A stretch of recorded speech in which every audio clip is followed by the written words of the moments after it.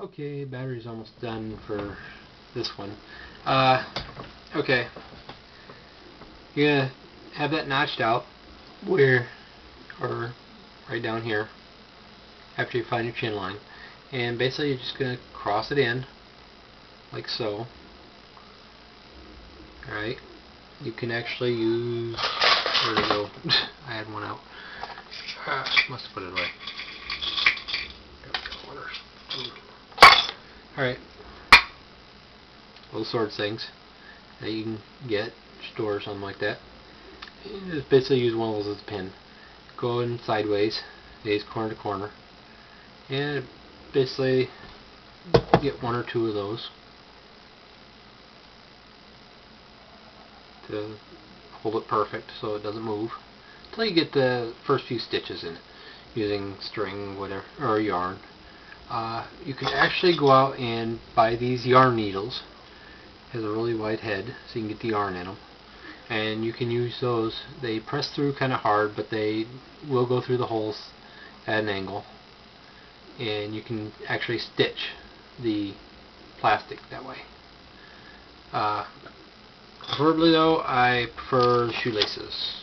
They're that you can pick up at the dollar store. They're nice, soft, and you just trim the ends off after you're done. I use a sewing needle to actually tie them off to another one of the stitchings along the side. It works a lot better. but when you get done with that, you'll be able to have the piece look come like something like that. And to get these snaps lined up, you're basically going to hold it up to your face and try to get your measurement for along the side. And do is take your marker and mark back here on the plastic where you basically get for a hole. And let's see what we yeah.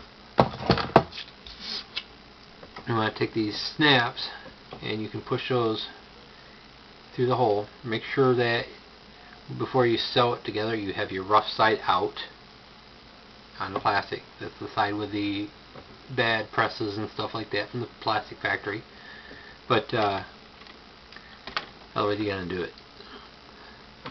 But you notch out with a razor knife the little four pattern. The reason for that is this doesn't like to press through plastic and stay centered for wherever you put it. You want to go down about two holes before you make your little block. That's for reinforcement. And that's for wherever it measures up on you on the side. I already have mine made up. You want to leave the ear tabs. Do not cut these off. There's a reason for it. it makes it easier to grab the back. You have it snapped up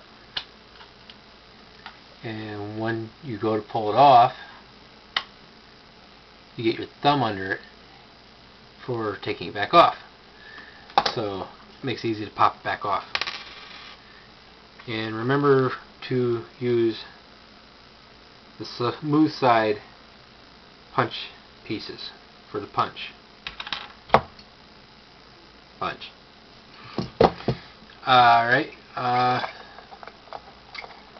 that is so much so far that I have right now for this video.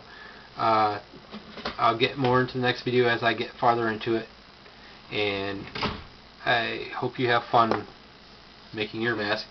I still have to work on the other pieces that come out off this for the rest of the mouth jaw assembly which will also be made out of of course the mesh and of course I got a neat idea. I'll bring that up in a later one. For uh, people that like to talk in their suit you always had that problem with the suit absorbing a lot of your sound when you're trying to talk. I have a solution